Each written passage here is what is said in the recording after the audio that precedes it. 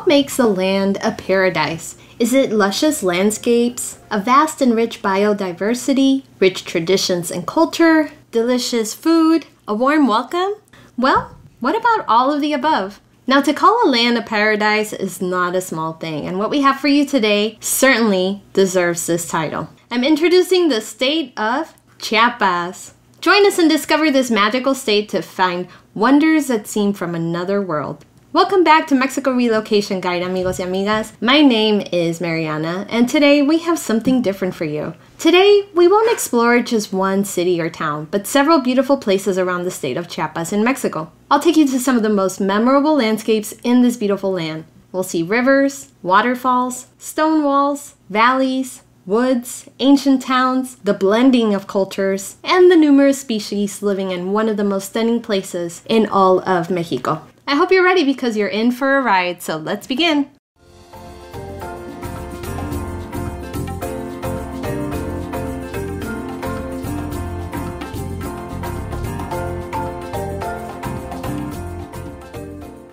Our adventure through these wonders started in the city of Tuxtla Gutierrez, which is Chiapas' capital. Tuxtla is situated in the center of the state and serves as the administrative and economic hub of the state of Chiapas. The city was inhabited by Zoques and Tzotziles before the arrival of Spanish conquistadores, and its original name was Coyatoc, which means place of rabbits in the Zoque language.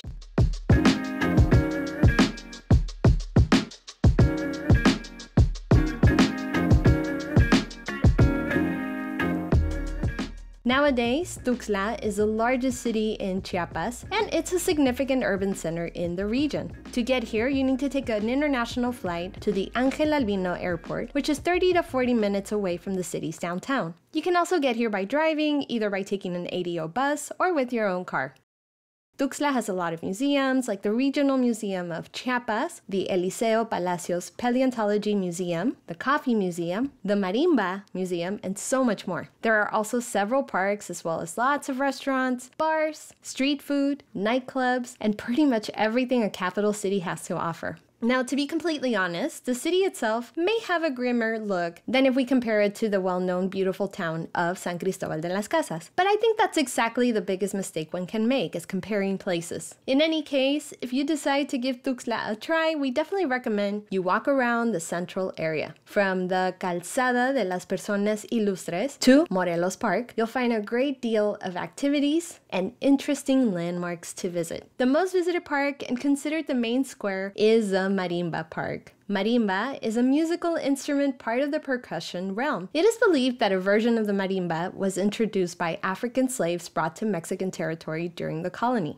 The modern marimba was invented in Chiapas during the last decade of the 19th century, and it's one of the major symbols of the state. Around Marimba Park, you'll find a number of restaurants, bars, street food, handcrafts, coffee shops, libraries, and a very lively environment. There are also interesting markets in the central area like Juan Sabines Market, the San Roque Market, and the Rafael Pascacio Market, just to mention a few. There are also local traditional markets where people come and make most of their groceries, and you can also try some of Chiapas delights like cochito, chalupas, or tascalate. It's definitely worth a visit. Now, probably the biggest appeal to Tuxtla is its proximity to some of the most beautiful natural wonders you'll ever see on Earth. At about 20 to 30 minutes, you'll find the Cañón del Sumidero National Park, one of the most iconic places in Chiapas and in Mexico for that matter.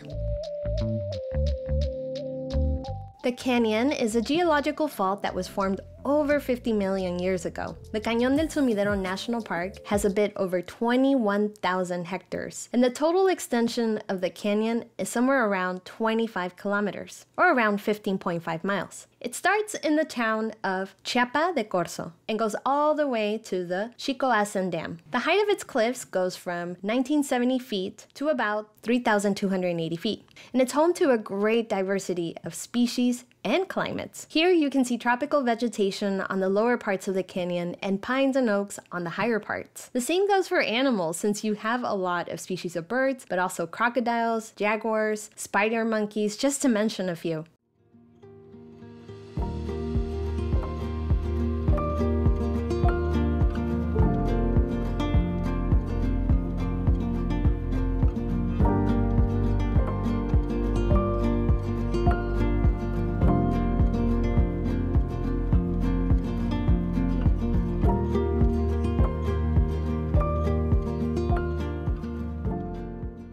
In 1980, the federal government declared the site as a national park, so efforts are made to preserve the biodiversity as well as allowing tourists from all over the world to wander with such magnificent beauty. To get here from Tuxtla, you can either rent a car and go by yourself. Just be aware that you'll have to pay a 35 peso per person fee for the entrance. Now, if you don't want to go through the hassle of driving yourself, you can book a tour, which I highly recommend. It'll take you to the national park, then to Chiapa de Corzo, where you'll hop on a boat and tour around the river. Basically, this tour allows you to see the canyon from the very top and then experience it from the bottom.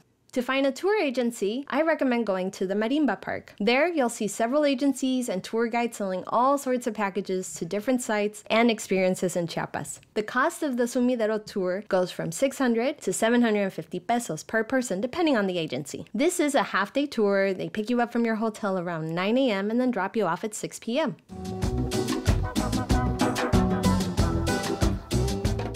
Now, if you go on a tour, chances are you'll start by going to the national park site, or as people call it, Miradores del Cañón. They take you to the top of the cliffs where there are five different viewpoints. The last one is the tallest one with a depth of a thousand meters, and it's breathtaking. Words don't even do it justice. It's really spectacular. On the last viewpoint, there's a handcraft store where you can take home some of the regional creations. You'll find things like clothing, jewelry, books, ornaments, and probably the most iconic item of the region, which is amber. A piece of advice don't bargain with the vendors. I know bargaining is considered Mexican culture, but I assure you that if you ask an artisan for them to lower their prices to sell to tourists, the answer will be, of course not. When they quote a price, take into consideration not only the materials, but also the time it takes for the artisan to make this, effort, and creativity that they put into their craft. The best thing to do if you feel the price is too high is just walk away and seek another vendor that matches the amount you are willing to pay. To avoid being taken advantage of by the so called gringo tax, I recommend you do your due diligence on the fair market price of handcrafts by asking locals. But keep in mind that if something is done by hand, it won't be cheap. Some pieces can take months to get done, and these people are true artists, even if their craft is not shown in fancy galleries. Now, you also have to consider the time and effort it takes them to bring their handcrafts from their nearby villages to the town of Chiapa de Corzo.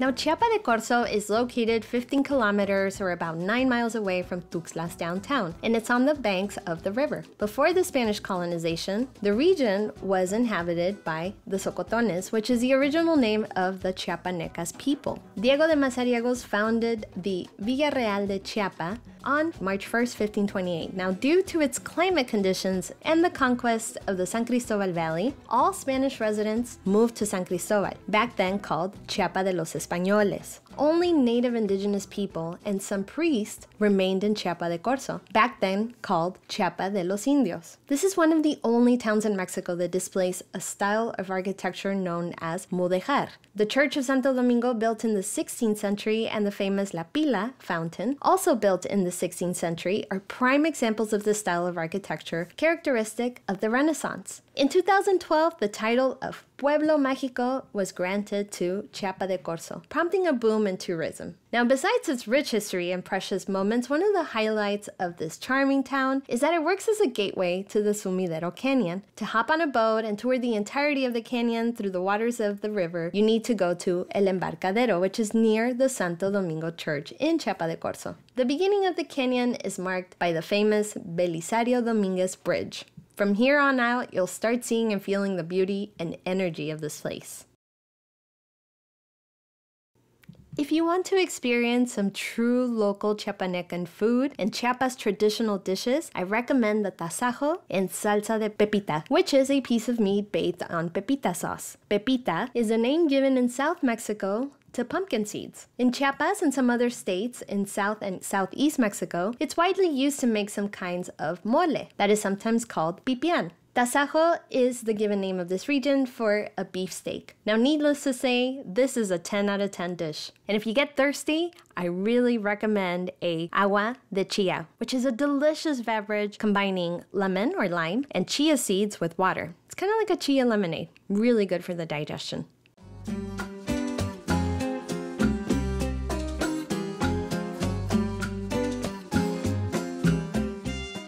In this little market, we found pox, an ancestral drink in Chiapas. This is a liquor that you obtain from distilling corn. The Mayas have been producing this drink since pre Hispanic times, so it's a very ancient drink. Nowadays, there are several artisanal producers of this drink in the area, so it won't be hard to find it. Same as mezcal, the recommendation is to drink it in little sips. You don't shoot it.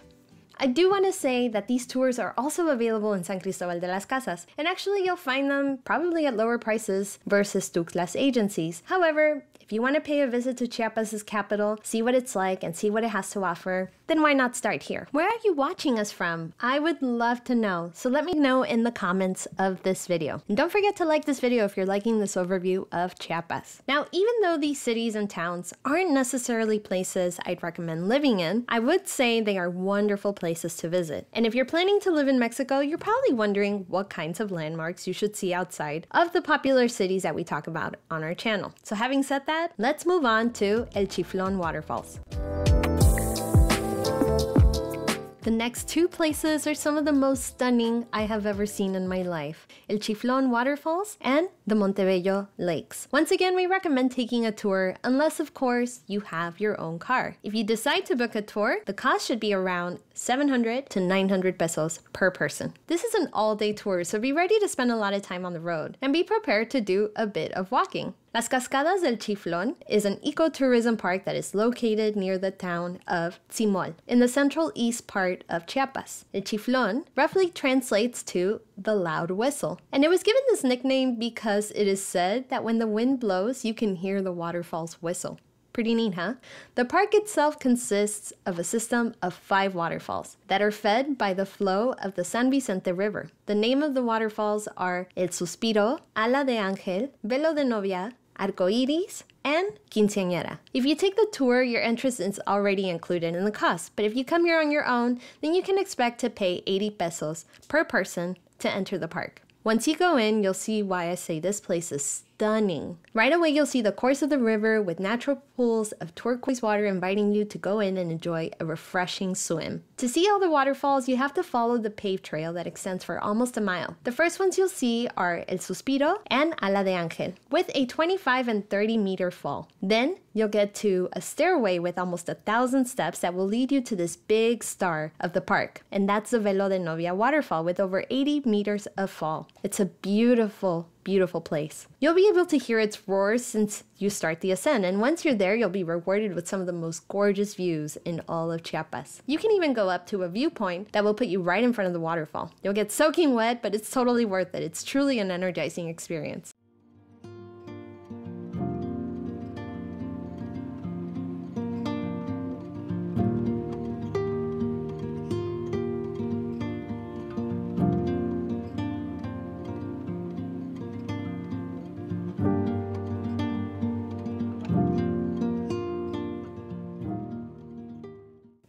Next waterfall is called Arcoiris, which translates to rainbow. And as soon as you see it, you'll understand why. There's always a rainbow in its natural pool, and the view from the waterfall is out of this world. I wasn't able to keep going to the last waterfall, Quinceañera. It was too hard, and we had to keep moving. So to go down to an alternative other than just turning back and using your feet, there's a zip line with three stations. The zip line experience has an extra cost, of course, and it depends on how high you want to jump from. There's a station right at Velo de Novia, which costs 300 pesos per person. That extends 600 meters. And you have another station at 400 meters for 250 pesos, and then the last one at 300 meters for 200 pesos. Piece of advice I mentioned the extension of the park being almost a mile. I also mentioned that it's almost a thousand steps to see the waterfalls. So I really suggest wearing comfy walking shoes and light clothing. I also recommend bringing some water and some snacks. And I also recommend to be well rested. I'm not saying this is like running an Ironman, but it does take some physical effort to enjoy the hike, so just come ready for that. The tour gives you two full hours to explore the park. Once everyone is back in the van, it's time to get a book or get a comfortable nap because it's a two hour ride from El Chiflón to the Montebello Lakes. The Parque Nacional Lagunas de Montebello is located on the eastern side of Chiapas, right at the border with Guatemala. It's part of the municipality of La Trinitaria. It was the first natural area declared a national park in Chiapas back in 1959. In 2003, it entered the Ramsar Convention, which is a UNESCO program dedicated to the preservation of wetlands all over the world, aiming for a conscious consumption of water by establishing sustainable practices. This is one of those places taken from a fairy tale. Magical is the best word to, to describe it. The amount of biodiversity here is truly outrageous. I mean, the data shows that there are over 150 species of orchids, over 90 species of fungi, 65 different types of mammals, 35 types of reptiles, and its main resident, 277 different species of birds, including the mighty quetzal. This endangered species is sacred in Mayan culture. But of course, the main things to view here are the lakes themselves. It is also said that these lakes showcase the most beautiful and clean colors in the whole country. They have crystal clear turquoise to pitch black waters. The site is mesmerizing. There are a total of 59 lakes in the park, and it extends to a total of 6,000 hectares.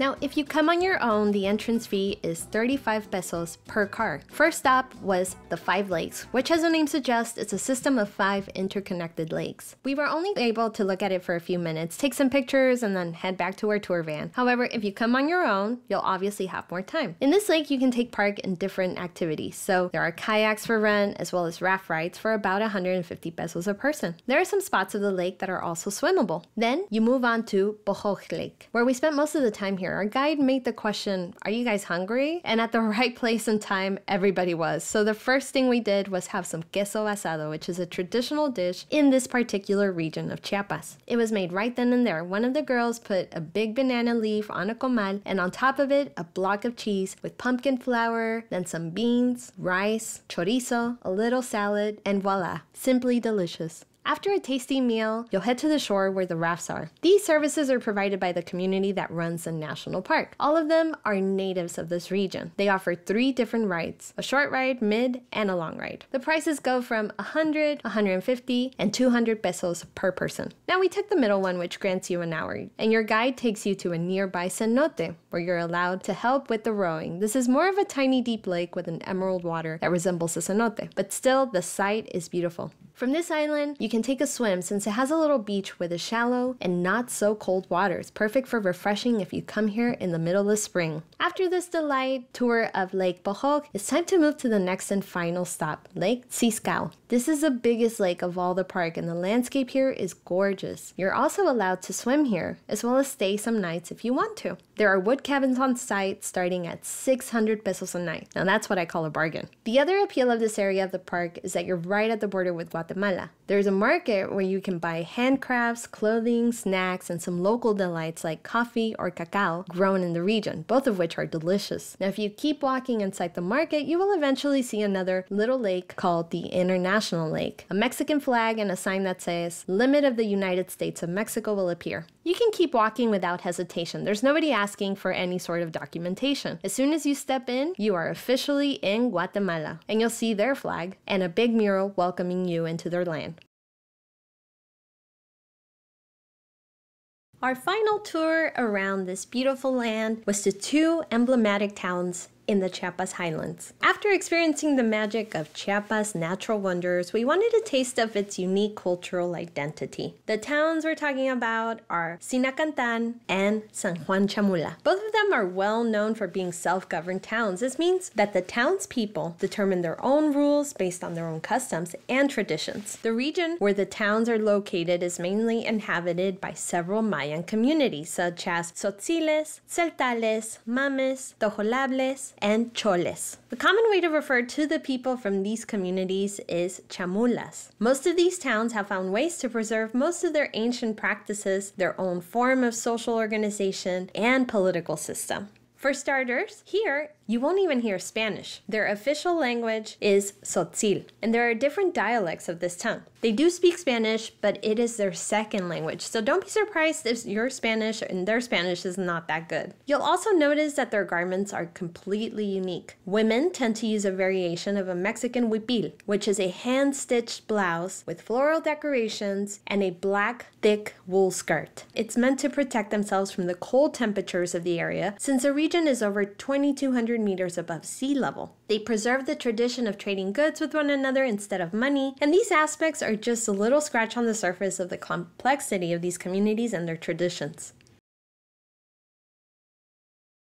Now, the first stop is Zinacantan, a town that is famous for its prosperous production of flowers, the ancient practice and expertise with the telar de cintura, and their peculiar mixing of cultures and religious practices. The word Zinacantan translates to the place of bats in the Nahuatl language. It is said that the Spanish conquest of this region was pacific and that Tzotziles agreed to yield their land and convert to Catholicism. Now, because of this supposed pacific submission, the Tzotziles were able to keep their land and preserve some of their rituals and traditions. So, as you can see, today you can still witness some of these cultural and religious activities. Here, the main attractions are the temple dedicated to San Lorenzo, which was built in 1546. While on the van, we were told that, same as in San Juan Chamula, the use of cameras was forbidden in San Lorenzo's church. However, once we got there, the elder of the town told our guide that we were going to be allowed to take pictures and get footage of the interior of the temple.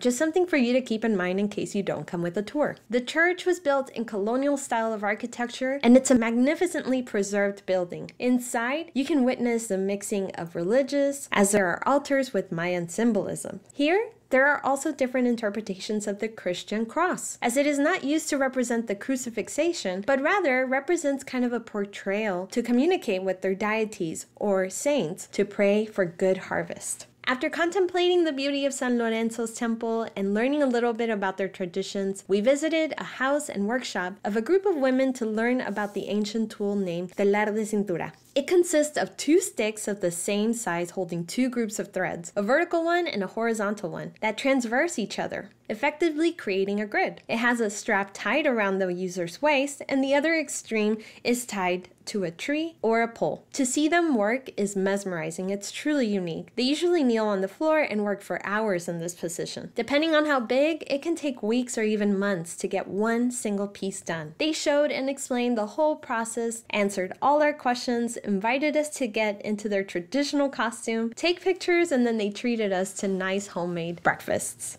Beans, handmade tortillas, spicy salsas, and a bit of cheese just did the trick. Once again, everything was incredibly good. And after a warm welcoming by the people of Zinacantan, it was time to hop back on our tour and go to the next stop, which is the town of San Juan Chamula.